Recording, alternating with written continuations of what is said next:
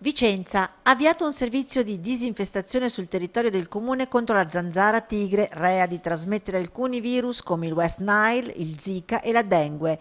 Ad essere oggetto del servizio del settore ambiente in particolare i tombini delle strade, le aree verdi pubbliche, cimiteri e parchi gioco, ma anche il privato deve fare la sua parte. Un'ordinanza del comune obbliga fino al primo novembre i cittadini a non abbandonare in casa, nei giardini o nei terrazzi oggetti contenitori con acqua stagnante. Questi vanno lavati o capovolti quotidianamente, tagliata l'erba periodicamente ed evitare l'accumulo di rifiuti. La disinfestazione periodica vale anche per consorzi, aziende agricole e zootecniche.